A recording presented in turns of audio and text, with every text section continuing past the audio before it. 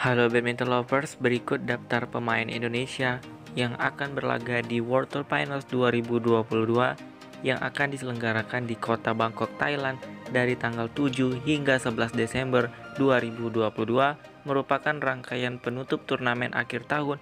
Di BWF World Tour Finals 2022 kali ini, Indonesia mengirimkan enam wakilnya yang akan berlaga di kota Bangkok nanti, yaitu dua dari sektor tunggal putra, dua dari sektor ganda putra, satu dari sektor ganda campuran, dan satu dari sektor tunggal putri.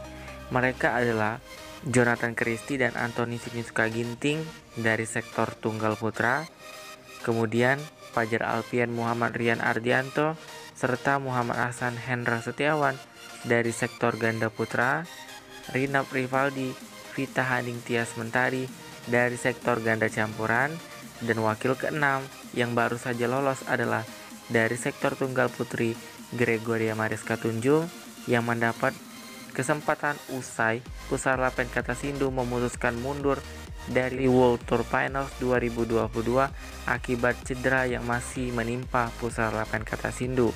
Tentunya selamat atas pencapaian Gregoria Mariska Tunjung yang dapat lolos otomatis ke World Tour Finals 2022 dan menjadikan Indonesia mengirimkan enam wakilnya di World Tour Finals 2022.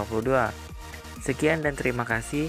Wassalamualaikum warahmatullahi wabarakatuh dan sampai jumpa di video berikutnya. Bye.